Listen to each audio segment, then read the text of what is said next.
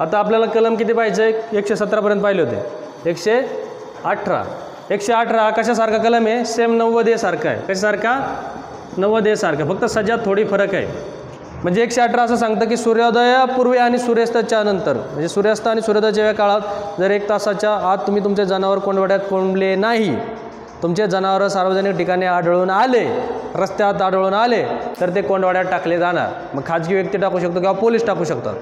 आणि जर तुम्ही पहिल्यांदा असा अपराध केला असेल प्रथम अपराध केला असेल तर किती? एक महिना शिक्षा चार हजार रुपये दंड. चार हजार दंड. नव्वद एमध्ये तिथं तीन हजार दंड इथं चार हजार दिलं आहे आणि द्वितीय अपराध असेल एकदा पण तुम्ही आधी अपराध केला परत तुम्ही तसाच अपराध करता तर सहा महिने शिक्षा पाच हजार दंड. ओके? आणि या ठिकाणी असं सांगितलं आहे जर त्या प्राण्याकडून दुसऱ्याची नुकसान झाली तर ती नुकसान भरपाई किती रुपयापर्यंत अडशे अडीचशेपर्यंत आणि नव्वद एमध्ये कितीपर्यंत होती? दोन हजारपर्यंत होती. आणि जर त्या प्राण्याने अपराधी कृत्य केलं असेल तर ते प्राणी शासन ताब्यात घेईल. आलं लक्षात? आणि हा हे सुद्धा गुन्हा दखलपात्रच असं असं समजला जाईल. एकशे अठरा. आता एकशे एकोणीस. जसं त्र्याहत्तर ते अठ्ठ्याहत्तर प्राण्यांना संरक्षण देत होतं तसंच एकशे एकोणीससुद्धा प्राण्यांना संरक्षण देतं. यदा कदाचित आयोग प्रश्न विचारू शकतो प्राण्यांना संरक्षण देणारे कलम कोणकोणते? तर जसं त्र्याहत्तर ते अठ्ठ्याहत्तर होते तसं एकशे एकोणीस काय आहे?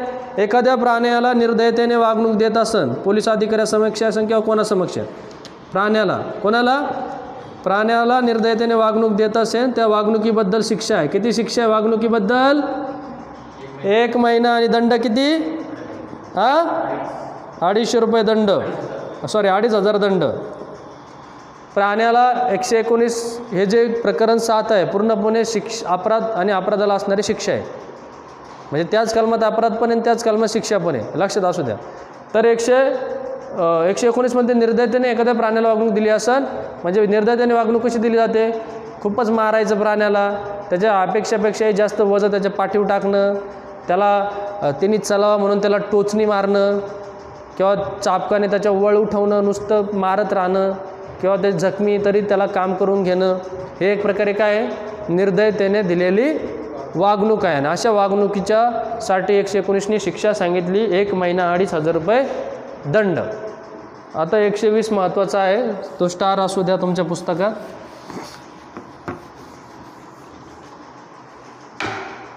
एकशे वीस म्हणजे अतिक्रमण.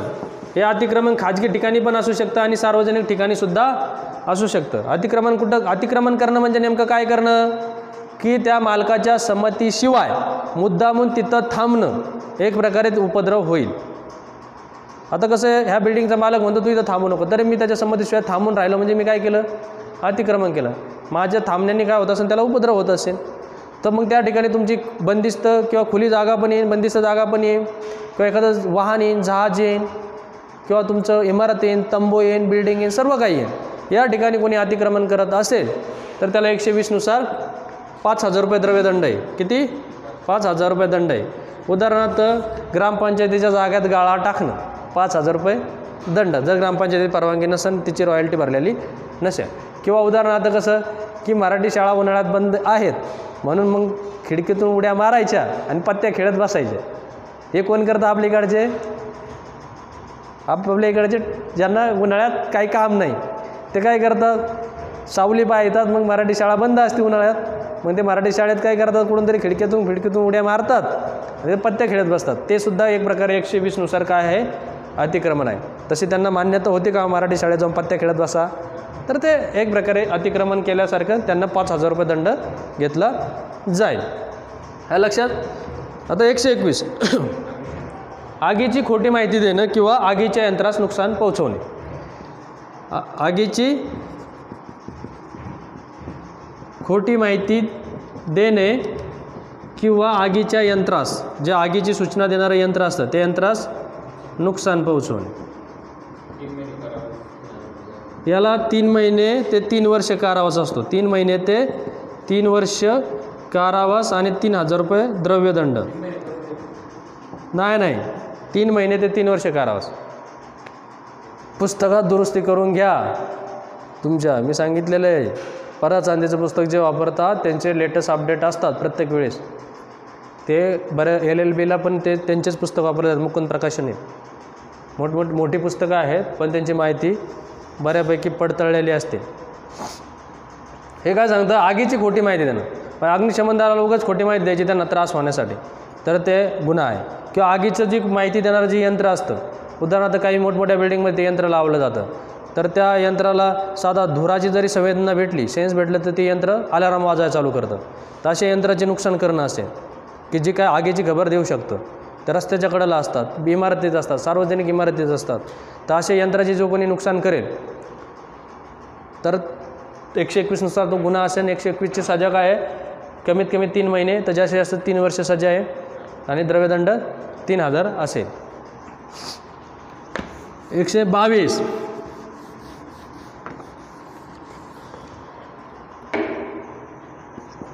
एकशे बावीस म्हणजे रात्रीच्या वेळेस. रात्रीच्या वेळेस म्हणजे सूर्यास्तानंतर आणि सूर्योदयापूर्वी सूर्यास्तानंतर व सूर्योदयापूर्वी बरोबर ना? काय करणं? संशयास्पद स्थितीत आढळणं. संशयास्पद स्थितीत. आता संशयास्पद स्थितीत कधी आढळतं माणूस? ज्यावेळेस तो रात्रीच्या वेळेत हत्यारा घेऊन फिरत असेल तर पोलीस त्याला ताब्यात घेऊ शकतात त्याची हत्यारा जमा करू शकतात किंवा संशयास्पद स्थितीत कसं फिरत असं? की मोकर तोंड वगैरे बांधून फिरत असेल. तोंड बांधून फिरत असेल वेगळा पोशाख घालून फिरत असेल तर पोलीस त्याला ताब्यात घेऊ शकतात. संशयास्पद स्थितीत म्हणजे काय? जो एखादा ऑलरेडी चोरीत दोषसिद्धी झालेला आहे किंवा तो आधीच प्रसिद्ध चोर आहे आणि तो चोर रात्रीचं संशयास्पद स्थितीत सापडत असं फिरताना वगैरे. किंवा एखादा व्यक्ती अपराध करण्याच्या उद्देशाने हत्यार घेऊन फिरत असेल तर त्याला पोलीस ताब्यात घेऊ शकतात किंवा एखादा व्यक्ती घरफोडीचे हत्यारं घेऊन फिरत असेल घरफोडीचे. रात्रीच्या वेळेस त्याच्या त्याच्या गाडीत गॅस कटर सापडले त्याच्याकडे व्हेक्स पान सापडले त्याच्याकडे चाव्यांचा गट्टा सापडला आहे म्हणजे पोलिसांना काय अंदाज बांधता येतो की शंभर टक्के बँक फोडायला चालला आहे म्हणजे अशा व्यक्तीला सुद्धा पोलीस जर तो रात्रीच्या वेळेस संशयास्पद स्थितीत सापडला तर ताब्यात घेतात. पण ताब्यात घेतात घेतात पण दोष सिद्ध झाले तो व्यवस्थित स्पष्टीकरण देऊ शकला नाही तर त्याला सजा आहे. किती सजा आहे? एकशे बावीसला? एक महिना? एक महिना ते एक वर्ष कारावास. आणि दंड किती आहे? दंड एक हजार. लक्षात? जर दोष सिद्धी झाले त्याने व्यवस्थित स्पष्टीकरण दिलं नाही तर न्यायालय त्याला एवढी सजा दे एकशे तेवीस. विना शस्त्र विना परवाना शस्त्र घेऊन म्हणजे विना परवाना शस्त्र घेऊन कुठं शिरणे गर्दीत ठिक शिरणे किंवा सार्वजनिक ठिकाणी? सार्वजनिक ठिकाणी शिरणे विनापरवाना शस्त्र कोणकोणते असतात? तुमची तलवार असेल गदा असेल शस्त्र काय सांगायची गरज नाही. तलवार भाला गदा वगैरे जे काय असेल ते. तुम्ही जर चाकू असेल रिव्हॉल्वर असेल हा कट्टा म्हणतो आपण त्याला गावठी कट्टे असतात. तर यू यू पी बिहारला तर? सांगायची आवश्यकता नाही. तर असे कट्टे तुम्ही सार्वजनिक ठिकाणी घेऊन हिंडताना पोलिसांना सापडले. तर ते तुम्हाला ताब्यात घेणारच घेणार ते हत्यारं पण जमा करणार. पण तुम्ही ते हत्यारं जमा केल्यानंतर किती दिवसाच्या आत सोडून येणं अपेक्षित असतं? दोन महिने ना? दोन महिन्याच्या आत ते हत्यारं सोडून येणं अपेक्षित असतं. जर नाही नेले तर कितीपर्यंत दंड? बारा हजारापर्यंत ना? नाही. बारा हजार चुका आहे त्या पुस्तकात. बारा हजार रुपयापर्यंत दंड. असे लक्षात असू द्या आणि जर तो दंड भरला नाही किती दिवसाच्या आत दंड भरला नाही? दोन महिन्याच्या आत दंड भरला नाही तर ते हत्यार जप्त होतं. एखादं जरी चांदीची गादा घेऊन फिरत असेल मग त्याला गरज आहे ना भरायला. तेव्हा चला चांदीची गादा आहे. एखादा मोकर चांदीची गादा घेऊन गर्दी थिंडत असेल त्याचा काही उद्देश असेल तर ती गदा पोलीस ताब्यात घेऊ शकतात. मग मग ती चांदीची म्हणलं त्याला बारा हजार भरावं लागतात आता तुम्ही विचार करता शंभर रुपयाचा चाकून ते चाकून सोडवण्यासाठी कुठे बारा हजारपर्यंत बसतात. पण ते हत्यारच जर महागाचं असेल तर? किंवा एखाद्याच्या नावाने परवाना असतो. किंवा एखाद्या सर्व्हिस रिव्हॉल्वर असेल.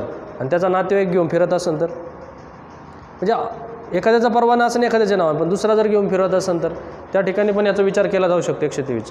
म्हणजे विना परवाना शस्त्र घेऊन जर तुम्ही गर्दीत सार्वजनिक ठिकाणी सापडलात तर तुम्हाला तुमचे शस्त्र ता जप्त केलं जातं आणि दोन महिन्याच्या आत बारा हजार रुपयापर्यंत जो दंड असतो तो भरायचा आणि तुमचं शस्त्र घेऊन जाईल एकशे चोवीस संशयित मालमत्ता असेल ते. त्याचं स्पष्टीकरण जर दिलं नाही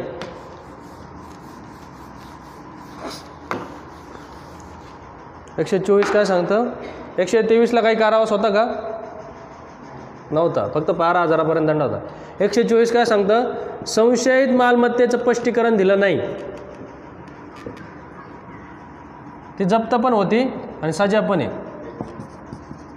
संशयित मालमत्ता म्हणजे कोणती? समजली जाते मग ती चोरीची मालमत्ता समजली जाते. उदाहरणार्थ तुम्ही गाडीवर फिरताय. तुम्हाला पोली ट्रॅफिक पोलिसांनी कागदपत्र मागितले. पी ओ सी मागितले. गाडीचे कागदपत्र मागितले. हे सगळं मागितलं. तर तुम्ही दिलंच नाही गाडीचे कागदपत्र. तर मग एक प्रकारे काय होतं? पोलीस स्टेशनला गाडी लावा चला. कागदपत्र आल्याच घेऊन जा तुमची गाडी. म्हणजे एक प्रकारे काय होती? संशयित मालमत्ता होते. आणि जर तिचं तुम्ही काहीच प्रूफ देऊ शकलं नाही तर मग तिला आय पी सी चारशे दहानुसार घोषित केलं जातं चोरीची मालमत्ता. चारशे दहानुसार काय घोषित केलं जातं? चोरीची मालमत्ता. जर जर तुम्ही त्याचा मालकी हक्क किंवा स्वामित्व हक्काचे काही कागदपत्र जमाच करत नसेल तर. आणि जर असं काही स्पष्टीकरण तुम्ही देऊ शकलं नाही तर त्याला सजा किती आहे? ए एक महिना कारावास आहे आणि पाचशे रुपये दंड आहे. पाचशे रुपये दंड आहे. लक्षात ठेवा मालमत्ता तुमची जरी स्वतःच्या हक्काची असेल त्याचं स्पष्टीकरण माहितलं तर तुम्हाला द्यावं लागतं. मग तुमचं कोणतीही वस्तू असो किंवा कोणतीही मालमत्ता असो तुम्हाला साधं एक गाडीचं उदाहरण दिलं. तुम्हाला माहिती दोन वर्षापूर्वी चोरी गेलेली गाडी कधी पण सापडू शकते. का? पोलीस हे लायसन बिसन विचारताना कागदपत्र पण विचारताना पोलिसांना कागदपत्रात काय संशय आला किंवा कागदपत्र मिळालं नाही तर पोलीस ती गाडी लावून घेतात. जेव्हा गाडी लावून घेतात त्यावेळेस त्याच्या वायरलेसद्वारे किंवा त्यांच्या पोलिसांच्या जे काही प्रसारमाध्यमांद्वारे ती माहिती सदर पोलीस स्टेशनला मिळून जाते की दोन वर्षापूर्वी चोरी गेलेली गाडी ह्या ह्या हद्दीत सापडली गेली. म्हणजे ती कशी सापडली जाते? तर ह्या कलमाचा वापर करून. ह्या कलमाचा. बॉम्बे पोलीस ॲक्ट एकशे चोवीस म्हणजे पोलीस कोणाला पण विचारू शकतात. बरोबर आहे ना? तसं सी आर पी सी एकशे दोनने अधिकारच दिलेला आहे पोलिसांना. संशयित मालमत्ता असेल किंवा काय असेल तर पोलीस ते जडती घेऊ शकतात किंवा जमा करू शकतात. एकशे पंचवीस. हॉस्पिटल असतील म्हणजे दवाखाने असतील किंवा लष्करांचे त्याला काय म्हणतो आपण? छावणे असतील किंवा लढाऊ जहाजे असतील. हे जे काय किंवा बाराके असतील या ठिकाणी काय घेऊन जायचं नाही. नशेचे पदार्थ नशेतील नशेचे पदार्थ असतील दारू असेल किंवा इतर नशा करणारे औषधं असेल हे घेऊन जायचे नाही.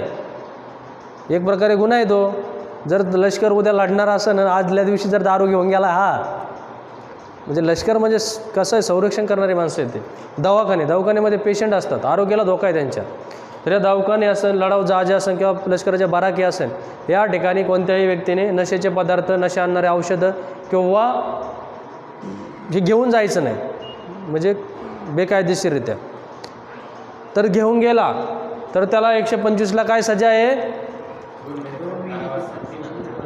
दोन महिने कारावास तीन हजार रुपये द्रव्यदंड. आलं लक्षात? दोन महिने कारावास तीन हजार रुपये. द्रव्यदंड एकशे पंचवीस. ओके? आता एकशे सव्वीस स्टार करा. एकशे पंचवीस पण स्टार करा. याचे प्रश्न येईल.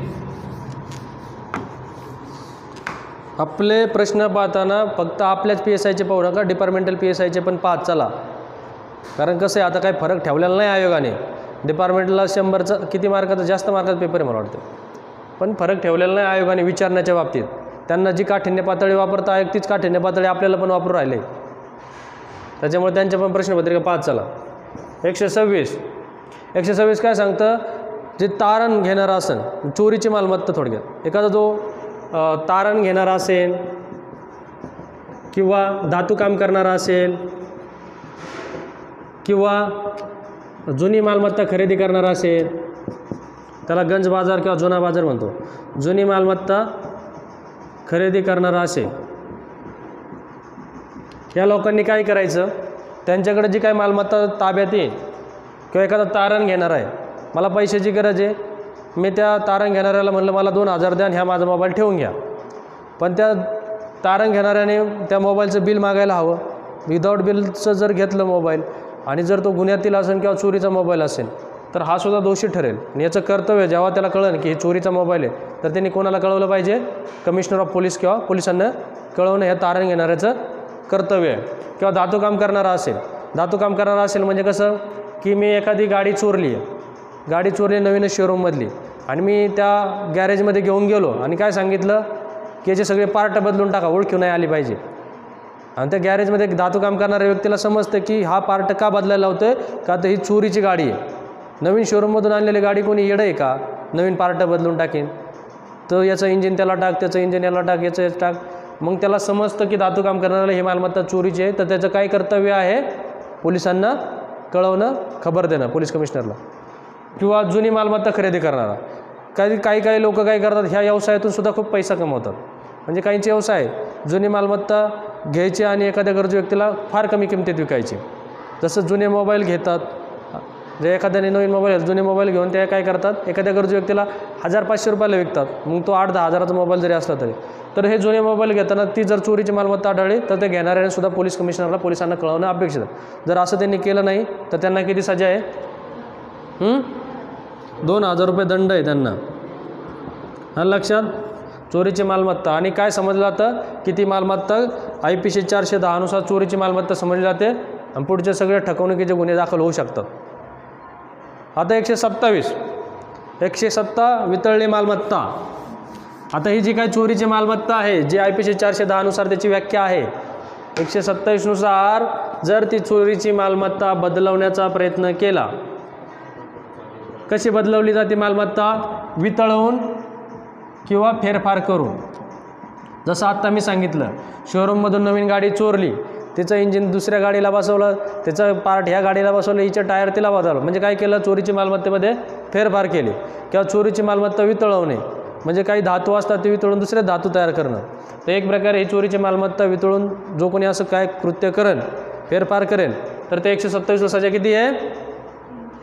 तीन वर्ष कारावास आणि दंड किती आहे? हां? दोन्ही पण आहे. तीन वर्ष कारावास आणि दंड. असे? द्रव्यदंड काय त्याच्यात मला वाटतं उल्लेख नाही ना? ठीक आहे एकशे सत्तावीस. आलं लक्षात? आता आहे एकशे अठ्ठावीस. एकशे अठ्ठावीस म्हणजे किती वर्षाच्या आतील मुलगा?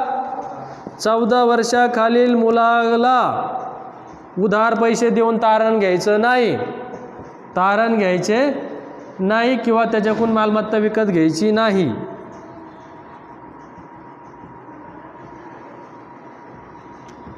एकशे अठ्ठावीस काय सांगतं? चौदा वर्षाच्या आतील मुलाचे व्यवहार मान्य होत नाही कायद्यानुसार. आलं लक्षात? कारण चौदा वर्षाच्या आतील मुलाचे जरी संमती असेल तो काय म्हटला? काका काका हा मोबाईल ठेवा तुमच्याकडं आणि मला दोन हजार द्या. तरीसुद्धा त्या व्यवहाराला मान्यता देत नाही कायदा. एकशे अठ्ठावीसनुसार तो गुन्हा होतो. किंवा एखादा मुलगा आला गावाकडं आपण करायचो लहान असताना की आईवडील घरी शेतात किंवा कामाला गेले असन आपल्याला काही खायला लागत असेल तर आपण काय करायचो? दहा किलो ज्वारी न्यायचो आणि दुकानात नेऊन विकून यायचो. आणि दहा दहा किलो ज्वारी विकून आलेले पैशाचं आपण काय करायचो? काही शिवासन गोडी शिवासन काय आणायचो खायला. तर अशा ज्या चौदा वर्षाच्या आतील मुलगा जो काही करेल पालकाच्या संमतीशिवाय किंवा तो करेल तर त्याला तो व्यवहार करायचा नाही. जो कोणी तो व्यवहार त्याच्याशी करेल तर तो दोषी. हा लक्षात? जी वस्तू एखादा जर मुलगा विकायला गेला चौदा वर्षाच्या आतील तर ती वस्तू त्याच्याकडून घेऊ नये. घेतली तर तो व्यवहार होत नाही. असं जर ते कोणी केलं गेलं असेल तर चौदा वर्षाच्या आतील मुलाशी व्यवहार केले गेले असेल अशा पद्धतीचे. म्हणजे तारण घेऊन पैसे देणं किंवा त्याची मा त्याच्याकडची मालमत्ता खरेदी करणं. तर एकशे अठ्ठावीसला सजा काय आहे? दोन हजार रुपये दंड आहे. हा लक्षात? एकशे अठ्ठावीस. आणि एकशे एकोणतीस काय सांगतं? काय सांगतं व्हेरी गुड जे काय मनोरंजनाचं किंवा करमणुकीचं ठिकाण असतं त्याची व्याख्या आपण पाहिलेली आहे सुरुवातीच्या व्याख्या कलममध्ये. मनोरंजनाच्या आणि करम करमणुकीच्या ठिकाणी असतात त्या ठिकाणी तो जो काय मालक आहे त्या मालकाने काय केलं नाही पाहिजे? संमती दिली नाही पाहिजे. कशाला? दारू पिऊन धुंद होण्यास त्या ठिकाणी. म्हणजे मद्यपानास. धुंद होऊन त्या ठिकाणी उपद्रव करणे किंवा जुगार खेळण्यास. जर ते असं काही गो गोष्टी आढळून आलं तर जणू काय त्या मालकाने संमती दिली असं समजले. म्हणजे या ठिकाणी परवाने असतात त्यांना करम करमणुकीच्या ठिकाणचा किंवा मनोरंजनाच्या ठिकाणचा अशा ठिकाणी एखादा व्यक्ती दारू पिऊन धुंद होऊन त्या ठिकाणी लोकांना उपद्रव करेल. असं कृत्य होता कामा नये असं झालं तर समजा त्या मालकाने त्याला परवानगी दिली.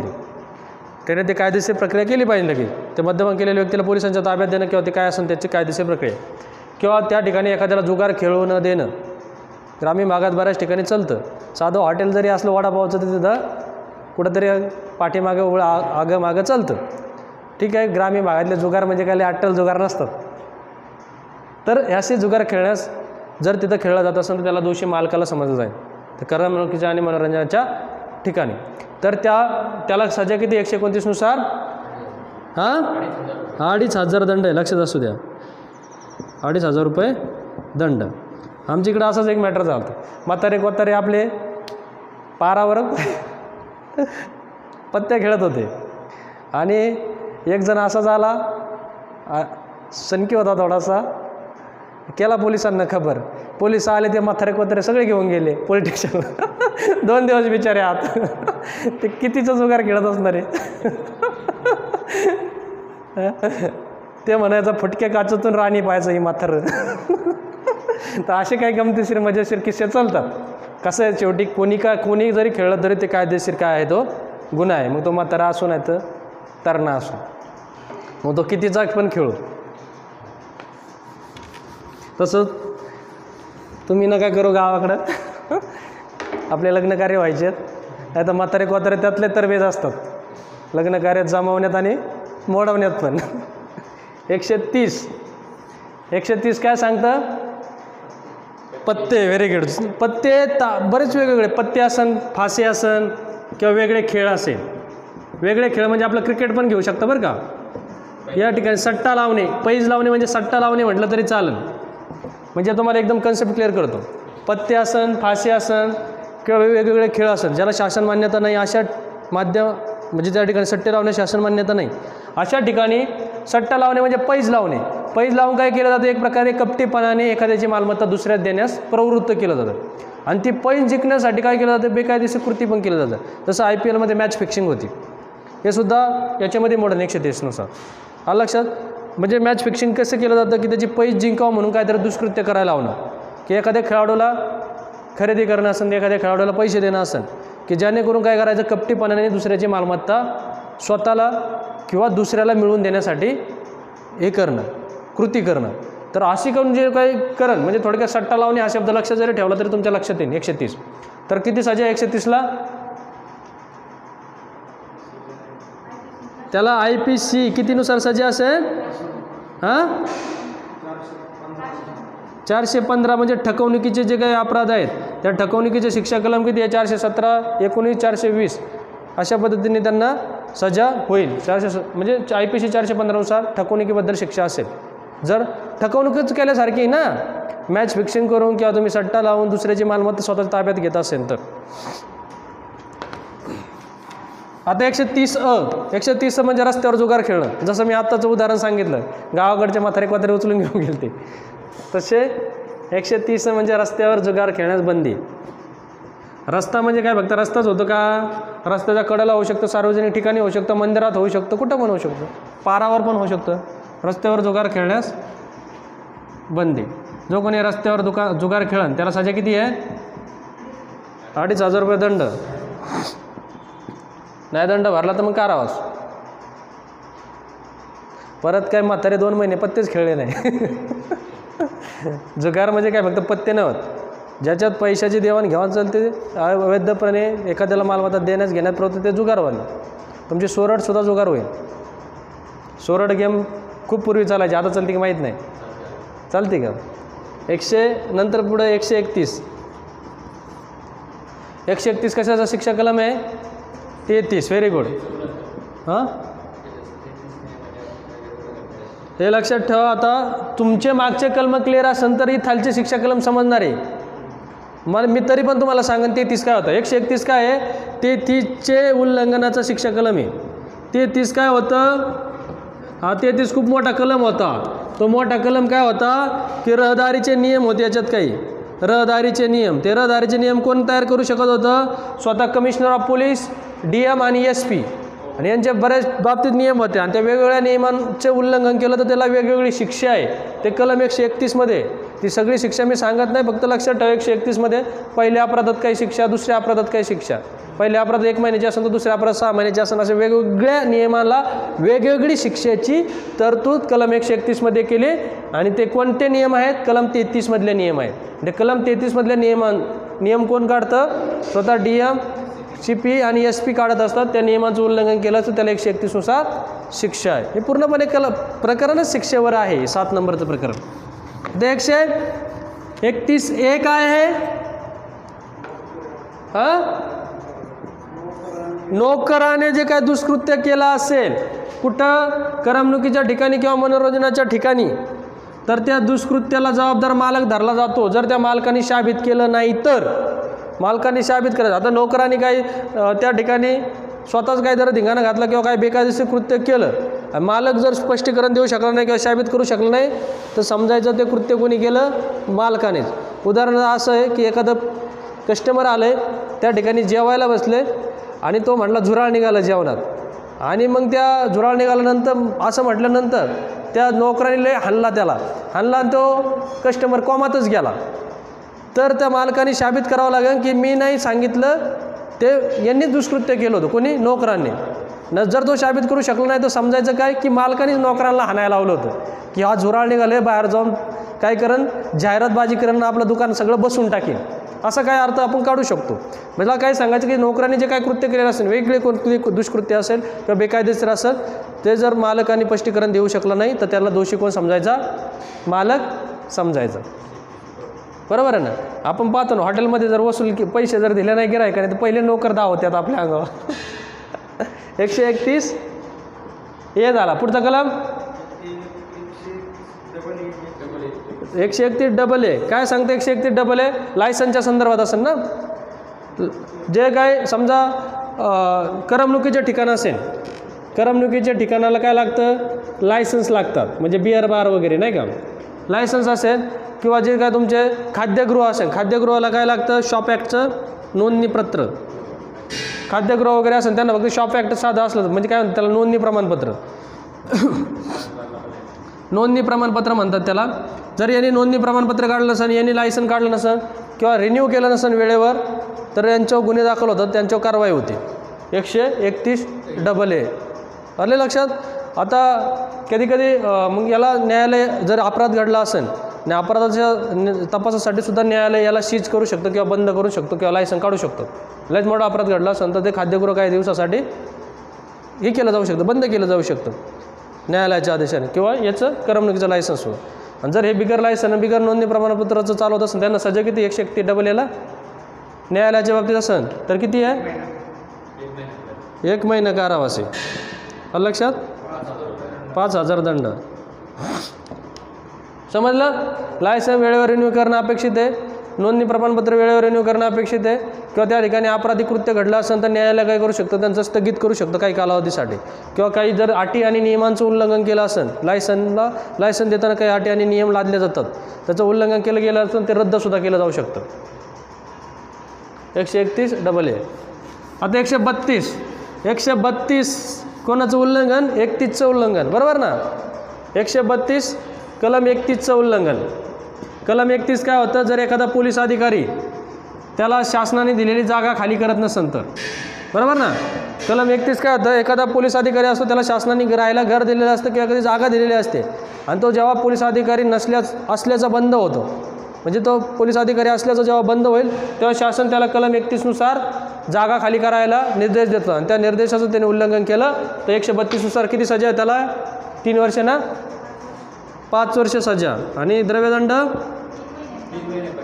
सॉरी स शिक्षा किती आहे? तीन महिने शिक्षा आहे सॉरी तीन महिने शिक्षा आहे. पाच हजार रुपये दंड आहे.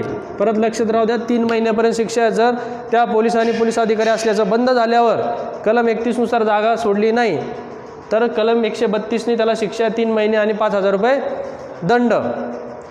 कलम एकशे तेहतीस कोणाचं उल्लंघन? पस्तीसचं उल्लंघन. पस्तीसचं उल्लंघन पस्तीस काय होतं? की सार्वजनिक किंवा जे काही प्रेत असतं प्रेतचं विल्हेवाट लावत असताना जे काही नियम असतात त्याचं उल्लंघन केलं.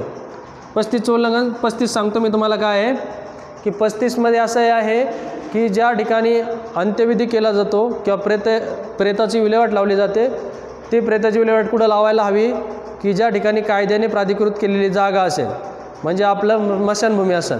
मशानभूमी नसेल तर इतर ठिकाणी कायद्याने मान्यता दिलेली जागा असेल ज्याच्यापासून कोणाला उपद्रव होणार नाही अशा जागेत त्यांनी प्रेत काय केलं पाहिजे? विल्हेवाट लावली पाहिजे. जर ह्या नियमाचं उल्लंघन तो करत असेल आणि दुसऱ्याला कोणाला उपद्रव होत असेल तर एकशे ते एकशे तेहतीसनुसार त्याला किती सजा आहे? किती? तीन महिने ते तीन महिने. याला सगळ्यांना बऱ्याच कलमांना ही सजा आहे. तीन महिने पाच हजार दंड. हा लक्षात? एकशे तेहतीस. बरोबर? एकशे चौतीस रद्द आहे ना? एकशे चौतीस छत्तीसचं उल्लंघन आहे सॉरी नाही नाही. लक्षात कसं ठेवायचं? फक्त अठ्ठ्याण्णव ॲड करत चालायचे. अठ्ठ्याण्णव. अठ्ठ्याण्णव ॲड करत चालायचं. एकशे चौतीस कशाचं उल्लंघन? छत्तीसचे उल्लंघन. त्याला छत्तीसमध्ये काय केलं? अठ्ठ्याण्णव ॲड केले. छत्तीस काय होतं? हेच आदेश होते. कुणाचे? जनतेला आदेश दिले जायचे. बाबा तुमची मिरवणूक कुठं गेली पाहिजेत तुमचे रस्ते कोणते असले पाहिजेत तुम्ही काय केलं पाहिजे? हे आदेश कमिशनर देत असेल एस पी देत असेल किंवा डी एम देत असेल जे हे काय आदेशांचं जर छत्तीसनुसार जे काय आदेश दिले जातात जनतेला रहदारीच्या नियमाबाबत असेल किंवा इतर तर त्याचं उल्लंघन जर छत्तीसचं उल्लंघन केलं असेल तर एकशे चौतीसला सजा तीन महिने पाच हजार रुपये दंड. हा लक्षात? आता कलम एकशे पस्तीस. कलम एकशे पस्तीस याच्यामध्ये कशाची सजा येते कलम कोणकोणते कलम सदतीस एकोणचाळीस किती? चाळीस याचं उल्लंघन. आयोग खूप खोलात गेला ना याच्यावर पण प्रश्न विचारेन. एकशे पस्तीस म्हणजे कोणकोणत्या कलमाचा शिक्षा कलम आहे? तर कोणकोणत्या कलमाचा शिक्षा कलम आहे? सदतीस एकोणचाळीस चाळीस. सदतीस काय सांगतं? एखादी अव्यवस्था निर्माण होणार असं तर त्या ठिकाणी कमिशनर असं किंवा डी एम असेल आदेश देतात एस पी. अव्यवस्था निर्माण होणार असेल तुम्ही हत्यारं त्या ठिकाणी घेऊन जाऊ नका. आणि जर तुम्ही हत्यारं घेऊन गेले म्हणजे तुम्ही काय केलं? सदतीसचं उल्लंघन केलं. तो एकोणचाळीस म्हणजे काय एखाद्या धार्मिक समारंभात तुम्ही असं असं करू नका. तर मी तसं तसंच केलं. तर तुम्ही कसं सॉरी एकोणचाळीस काय सांगतं दंगा होऊ नये म्हणून. सॉरी चुकीचं झालं. एकोणचाळीस काय सांगतं दंगा होऊ नये म्हणून अधिकारी तुम्हाला आदेश देतात की तुम्ही त्या ठिकाणी माणसं घेऊन जाऊ नका. ते माणसं घेऊन गेला आणि द उल्लंघन केलं. तर एकोणचाळीसचं उल्लंघन. चाळीस काय सांगतो धार्मिक ठिकाणी. जर तुम्ही धार्मिक ठिकाणी अशा अशा ठिकाणी तुम्ही असं असं करू नका. तुम्ही तसं तसंच केलं धार्मिक ठिकाणी. तर काय समजायचं? चाळीसचं उल्लंघन. या तिन्ही कलमांचं एकत्रितरित्या शिक्षा कलम काय आहे? एकशे पस्तीस आहे. जर सदतीस एकोणचाळीस चाळीसचं उल्लंघन होत असेल तर त्याला कलम एकशे पस्तीसनुसार शिक्षा आहे. म्हणजे याच्यात अडतीस नाही. अडतीसला शिक्षा कलम एकशे चाळीस आहे. लक्षात असू द्या. अडतीस म्हणजे काय आहे? अडतीस ते तुम्हाला नंतर सांगा. ते अडतीस काय होतं? वाद साधन बिधन गोंगाट बिंगाट करायचं नाही. ते शिक्षा कलम पुढे आहे. पण सध्या हे सदोतीस एकोणचाळीस चाळीसचं उल्लंघनासाठी शिक्षकलम एकशे पस्तीस आहे. एकशे पस्तीसमध्ये सदोतीस एक उ सदोतीस उपकलम एक आणि एकोणचाळीस आणि चाळीससाठी किती शिक्षा आहे? चार महिने ते एक वर्ष. आणि दर द्रव्यदंड नाही. आता सदोतीस उपकलम दोनसाठी किती शिक्षा आहे? किती? किती दंड? अडीच हजार पंचवीसशे. आणि सदोतीस उपकलम तीनसाठी? अडीच हजारापर्यंत दंड आणि सजा किती? ठीक आहे. असं हे एकशे पस्तीस हां? आता आपल्याला पाहिजे एकशे?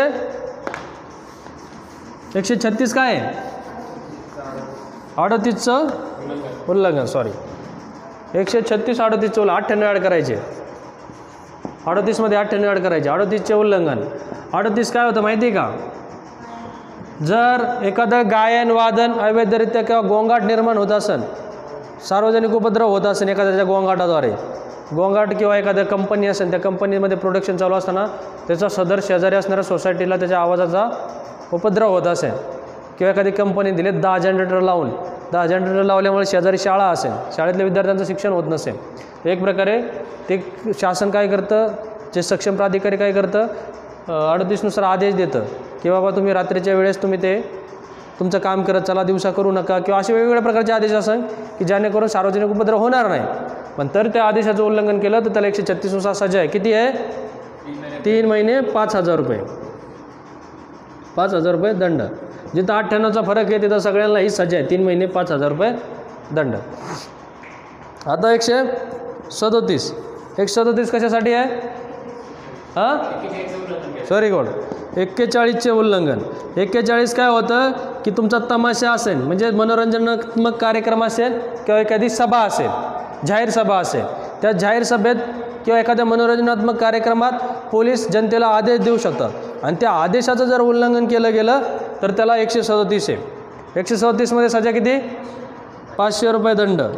म्हणजे उदाहरणार्थ तुमच्या गावची जत्रा आणि गावच्या जत्रेत तमाशा चालू आहे. आणि तमाशा चालू असताना गाणं चांगलं लागलं आणि तुम्ही पुढं उभे राहून डायरेक्ट स्टेजवर जाऊन नाचायला लागले. तर पोलीस येणार आणि पोलीस काय सांगणार? परत स्टेजवर चढू नको. परत स्टेजवर चढला म्हणजे काय केलं तुम्ही? एक्केचाळीसचं उल्लंघन केलं. किंवा तुमचा एखादा आवडता नेता आहे. नेता भाषण चालू झालं एखाद्या जाहीर सभेत. भाषण चालू झाल्यावर स्टेजवर खाली माणसं कमी स्टेजवरच जास्त. तर पोलीस काय म्हणणार? निम्मे खाली उतरा. जर नाही उतारले तर काय? कशाचं उल्लंघन? एक्केचाळीसचं उल्लंघन? पाचशे रुपये दंड. आता एकशे अडोतीस काय आहे? रद्द केलेला आहे एकशे अडोतीस. ते काय घ्यायचं? नाही. आता एकशे एकोणचाळीस त्रेचाळीसचं उल्लंघन.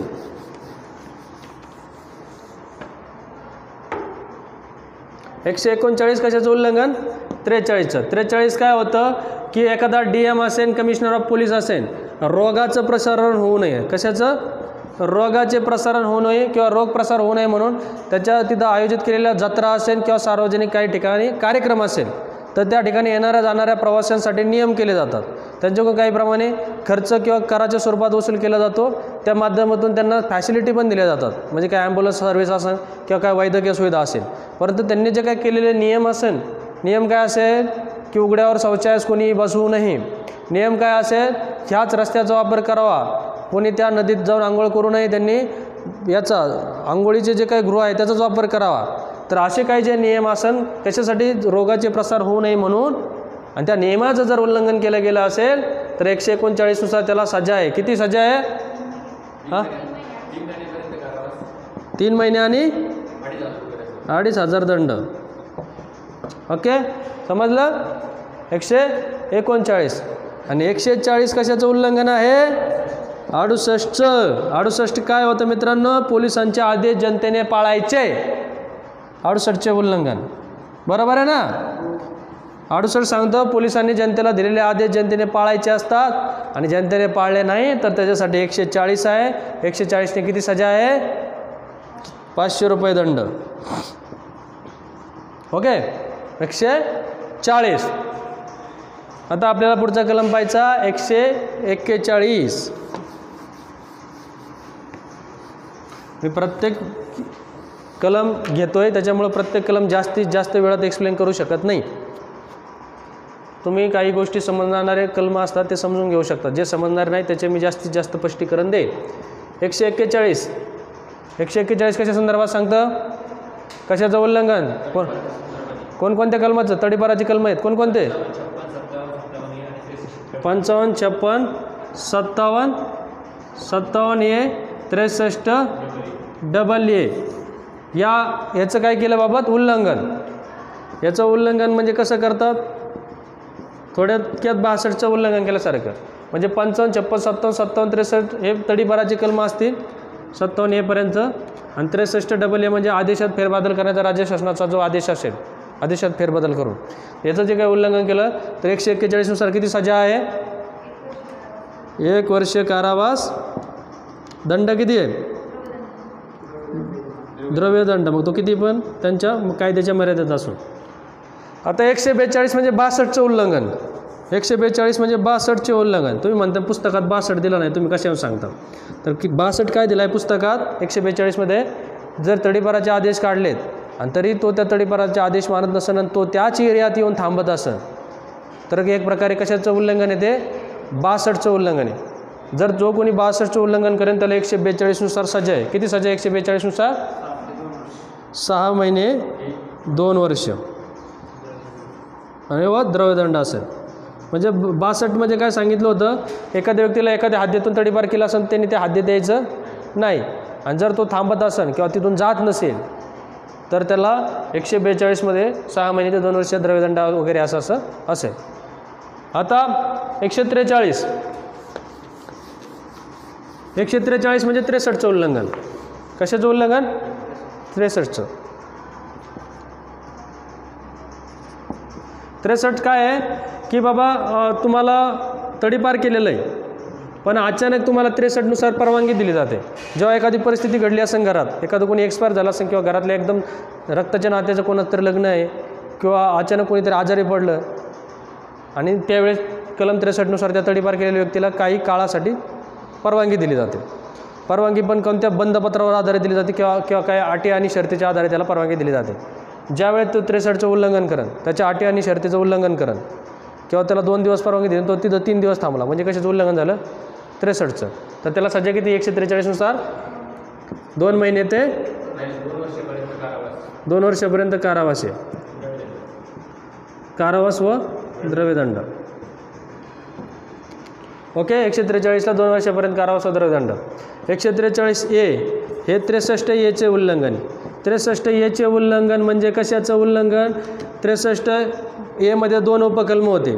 पहिला उपकलम काय होता? जर तुम्ही लष्करी कवायतसारखी कवायत घेत असाल म्हणजे लष्कराप्रमाणे किंवा लष्कराप्रमाणे कवायत. म्हणजे कसं? शस्त्रास्त्र शस्त्रास्त्र म्हणजे एखाद्याला हत्याराचं प्रशिक्षण दिलं जात असन किंवा शस्त्रास्त्र घेऊन शस्त्रास्त्र घेऊन कवायत केलं जात असन लष्कराप्रमाणे प्रशिक्षण देत असन जेणेकरून राज्य शासनाला वाटत असन की कायदा सुव्यवस्था उपस्थित होईल. उदाहरणार्थ संयुक्त महाराष्ट्राच्या आधी किंवा जी काही भारत स्वतंत्र व्हायचे त्यावेळेस राजाकार राजाकार संघटना होती निजामाच्या काळात. तशा काही संघटना असतील. तर लष्कराप्रमाणे कवायत आणि शस्त्र वगैरे असेल तर ह्या उपकल्म एकला किती सजा एकशे त्रेचाळीसनुसार एक वर्ष. आणि उपकलम दोन. उपकलम दोन म्हणजे काय? लष्कराप्रमाणे कपडे परिधान करणे. लष्कराप्रमाणे जर ह्याच लोकांनी कपडे परिधान करून जर कवायत वगैरे केल्या. उदाहरणार्थ जसं श्रीलंकेमध्ये लिट्टे नावाची संघटना होते. बरोबर आहे ना? तर ते तशाप्रमाणे किंवा आपल्या ल नस्क न नष्क काय म्हणतो आपण? गडचिरोलीमध्ये जे काय? नक्षलवादी असतात. तर नक्षलवाद्यांचे पण कधी कधी आर्मीसारखे कपडे असतात. ते सुद्धा यामध्ये दोषी असू शकतात. लष्कराप्रमाणे कपडे परिधान करणे. तर या उपकलम दोनला किती सजा एक एकशे त्रेचाळीस यानुसार तीन वर्ष. तीन वर्षापर्यंत कारावास. लक्षात? म्हणजे उपकलम त्रेसष्ट उपकलम एकला एक वर्ष त्रेसष्ट उपकलम दोनला तीन वर्ष एकशे त्रेचाळीस एनुसार हे प्रकरण सात जरा बोरच आहे. बोर काय? आहे नुसतं अपराध शिक्षा अपराध शिक्षा हे पाठांतराशिवाय पर्यायच नाही याला. एक तर स्ट्रिक करून पाठ करा नाही तर जसे पाठ करा तसे पाठ करा.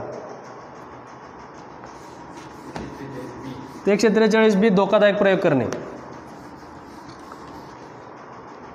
एकशे त्रेचाळीस बी म्हणजे काय? धोकादायक प्रयोग करणे. उदाहरणार्थ आपले सेनापती बापट स्वतःला पुरवून घ्यायचे. जेव्हा काही त्यांना आंदोलन छाडायचं असेल किंवा कधी कधी जलसमाधी घेतली जाते. याचे धोकादायक प्रयोग कोणते? जलसमाधी घेणे. किंवा एखाद्याला बंदिस्त पात्रात स्वतःला कोंडून घेणं किंवा काय करणं एखादा खड्डा खांदून त्याला स्वतःला पुरून घेणं. कशाला शब्द आहे? खड्ड्यात पुरून घ्या समाधी स्थल समाधी. स्थल समाधी जलसमाधी जलसमाधी म्हणजे पाण्यात स्वतःला बुडवून घेणं. स्थल समाधी म्हणजे काय करायचं?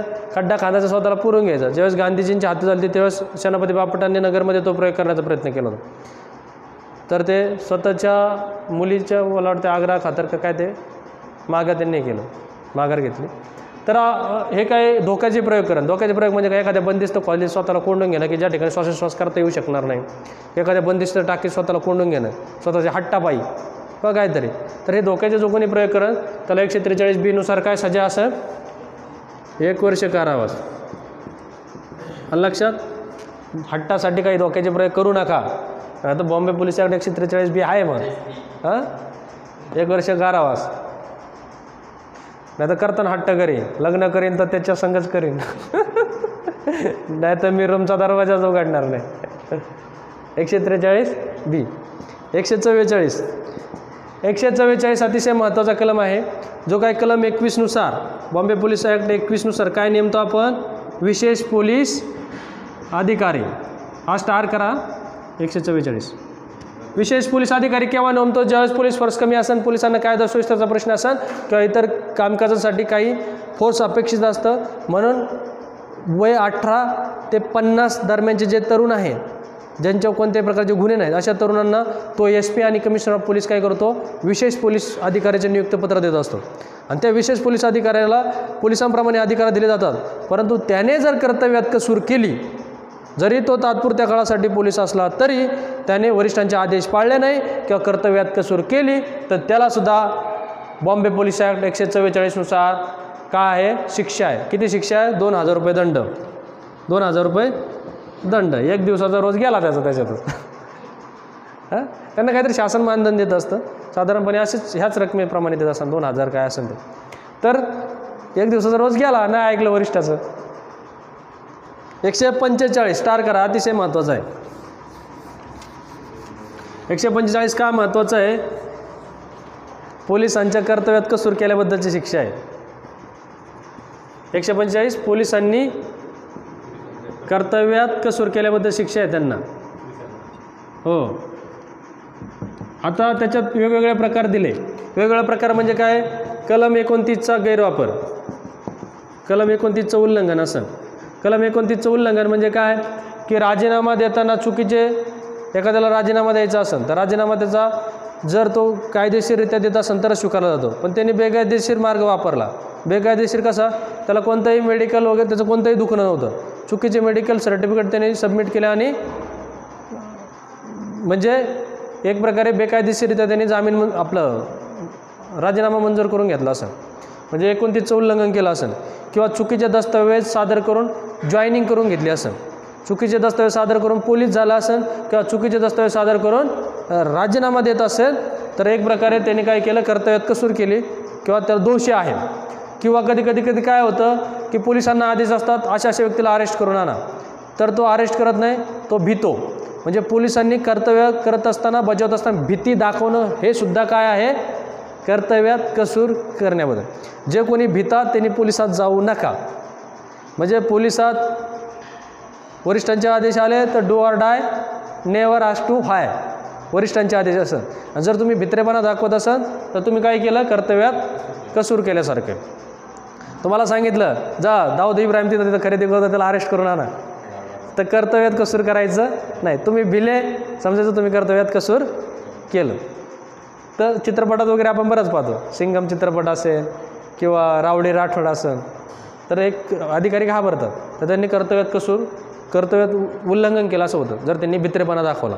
म्हणजे त्यांनी भित्रेपणा दाखवू नये त्यांनी चुकीचे दस्तऐवज सादर करून पोलीस डिपार्टमेंट जॉईनिंग करू नये किंवा चुकीच्या दस्तऐवजा आधारे राजीनामा मंजूर करून घेऊ नये. किंवा अजून काय सांगता येईल? पोलिसांनी काय करू नये अजून? कर्तव्यात कसूर करू नये कोणते कायदेशीर. तर त्यांना सजा किती आहे? तीन महिन्यानं तीन महिने आणि शंभर रुपये दंड. तीन महिने आणि शंभर रुपये दंड. म्हणजे बघा पोलिसांना सुद्धा सजा आहे. जे दुसऱ्याला सजा देतात त्यांनासुद्धा सजा आहे. एकशे पंचेचाळीस. आणि एकशे शेहेचाळीस काय सांगतं? काय? प्रमाणपत्र ते जमा केलं नाही. प्रमाणपत्र कलम कितीनुसार जमा करावं लागतं? तीसनुसार. म्हणजे कलम तीसचं उल्लंघन थोडक्यात. कितीचं? कलम तीसचे उल्लंघन. आयोगले गमतीशीर आहे आता तुमच्या पुस्तकात वगैरे काय दिलं असेल की त्याच्या नियुक्तीचे प्रमाणपत्र हत्यारं शस्त्र कपडे जमा केले नाही तर. पण आयोग तिथं ते नाही देणार. आयोग कलम तीस देणार. कलम तीस काय सांगतं की एखादा पोलीस अधिकारी पोलीस अधिकारी असल्याचं रद्द होतो. किंवा तो पोलीस अधिकारी असल्याचं बंद होतो.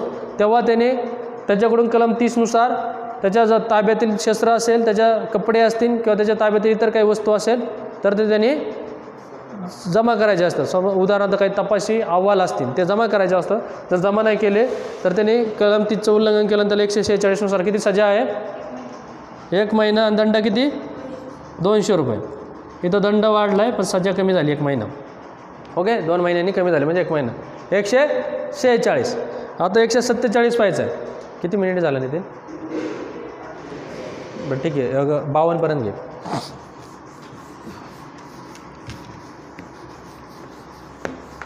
आता आपल्याला कोणता पाहिजे आहे? नितीन क्लोज कर क्लोज कर. चला एकशे सत्तेचाळीस.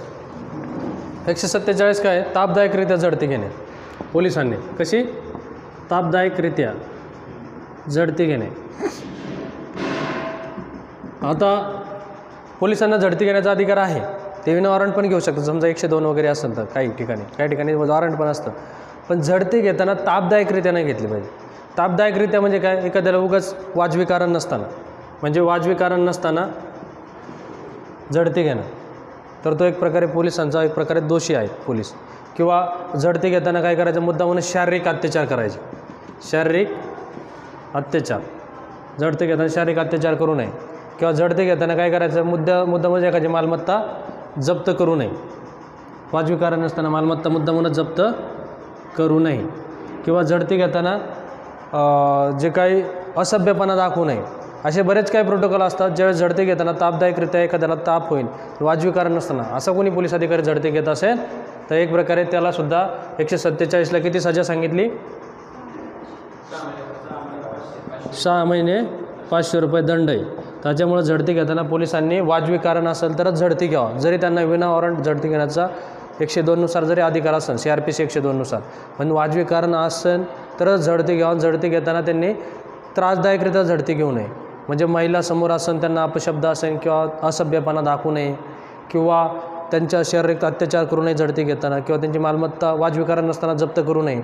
असे जर काही करत असाल तर त्यांनी तापदायकरित्या झडती घेतली असं समजून एकशे सत्तेचाळीसनुसार त्याला सहा महिने पाच हजार दंड असेल. आता एकशे अठ्ठेचाळीस.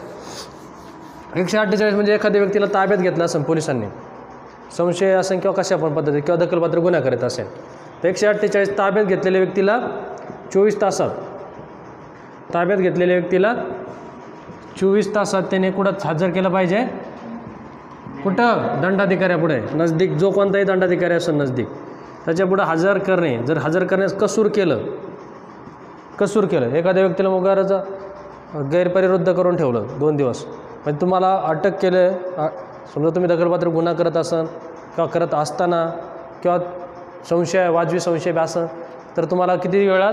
चोवीस तासाच्या आत दंडाधिकारी हजर करणार. जर कर्तव्यात कसूर केली तर एकशे अठ्ठेचाळीसला किती सजा आहे सहा महिने सजा. ओके? सहा महिने शिक्षा. आता एकशे एकोणपन्नास म्हणजे कशाचं उल्लंघन? सत्तरचं उल्लंघन. सत्तरचे उल्लंघन. सत्तर सत्तरचे उल्लंघन म्हणजे सत्तर म्हणजे काय? छत्तीस सदोतीस अडतीसचे लक्षात? छत्तीस काय आहे? वरिष्ठांचे आदेश जे असतात ते. सदोतीस काय आहे? अव्यवस्था निर्माण होऊ नये म्हणून दिलेले आदेश असतात. अडतीस काय गायन वाद्य गोंगाट होऊ नये म्हणून दिलेले आदेश असतात. ह्या आदेशाचे उल्लंघन झालं तर त्याच्यासाठी सत्तर होतात. सत्तरनुसार काय करले जायचं? ती मालमत्ता जप्त वगैरे केली जायची. जे मालमत्ता असं कारणीभूत होईल ओके. आता ते असं जर ह्या सत्तरचं जरी उल्लंघन झालं म्हणजे यांची अंमलबजावणी करत असताना सत्तर आहे आणि ह्या सत्तरचं जर उल्लंघन झालं तर ह्या सत्तरचं उल्लंघन झालं तर एकशे एकोणपन्नासला शिक्षा आहे. किती? एकशे एकोणपन्नास शिक्षा? एक वर्ष कारावास आहे. एक वर्ष कारावास आहे. आता एकशे एकोणपन्नास हे अतिशय महत्त्वाचं आहे. स्टार करा. एकशे एकोणपन्नास हे काय आहे? पोलिसांचे कपडे परिधान करणे. कोणाचे कपडे? पोलिसांचे कपडे.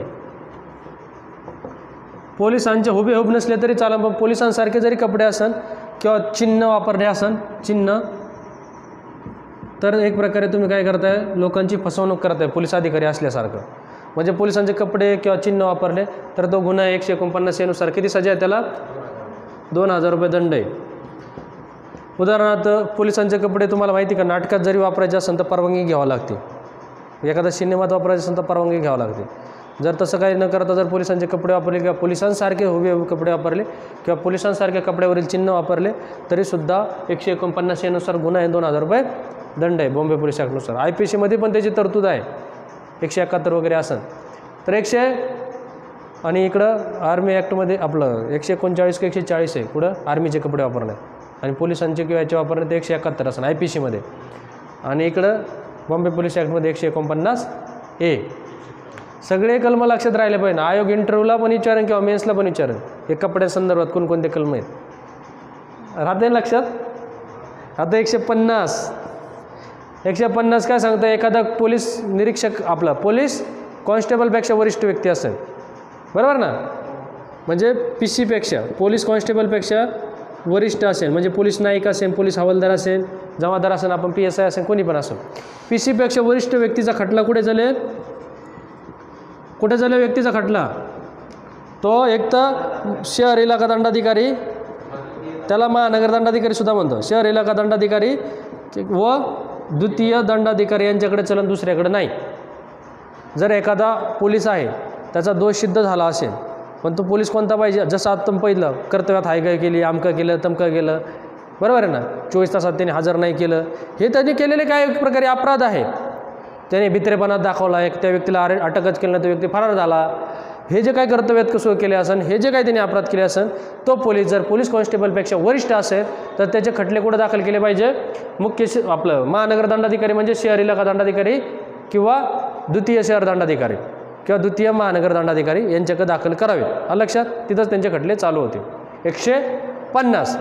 आता एकशे एक्कावन्नमध्ये काही पोलिसांना स्वच्छ अधिकारी. पोलिसांना काय स्वच्छ अधिकारी एकशे एक्कावन्नमध्ये जर तो अपराध घडला असेल त्याच्यावर खटला दाखल करायचा का त्याला सोडून द्यायचं? एकशे एक्कावन्न लय महत्त्वाचं आहे बघा. पोलिसांना काही स्वच्छ अधिकारी. आहेत पोलिसांना स्वेच्छा. कोणकोणत्या अपराधावर स्वच्छ अधिकारी आहेत ते कलम सांगा. एकशे सतरा एकशे एकोणीस एकशे एकशे किती किती आहे? एकशे सतरा. एकशे एकोणीस. एकशे एकतीस एकशे पस्तीस. सॉरी एकशे एकोणचाळीस. एकशे चाळीस एकशे चव्वेचाळीस एकोणचाळीस आणि चाळीस ना? एवढेच का? ठीक आहे. पोलिसांना स्वच्छ अधिकार. काय अधिकार आहे? जर त्यांनी एकशे सतरातील एकशे एकोणीसचे एकशे एकतीसचे एकशे एकोणचाळीसचे एकशे चाळीसचे एकशे चव्वेचाळीसचे अपराध केले असेल आणि पोलिसांना वाटत असेल की याला ताकीद दिल्याने सुद्धा हा सुधारू शकतो तर पोलीस त्याला सोडून देऊ शकतात. पोलिसांना वाटत असेल नाही याला ताकीद देऊन उपयोग नाही याच्यावर खटला दाखल करावा लागेल याच्यावर कारवाई करावं लागेल तर पोलीस कारवाई करू शकतात. म्हणजे पोलिसांना एका एक प्रकारे स्वेच्छा अधिकार आहे. आता एकशे सतरा काय होतं? जे आपण बघितलं ते नव्याण्णव ते एकशे सोळापर्यंत जे काही अपराध बघितले ते. त्याचा शिक्षा कलम आहे बाराशेपर्यंत दंड. आपण नाही म्हणलं का? रस्त्यात मी जे आता ट्रिक सांगितले होते मागच्या लेक्चरला त्या. एकशे एकोणीस काय सांगतं? निर्दयपणे वागणूक देत असं गुराढोरांना एकशे एकतीस काय सांगतं? की बाबा कशाचं उल्लंघन?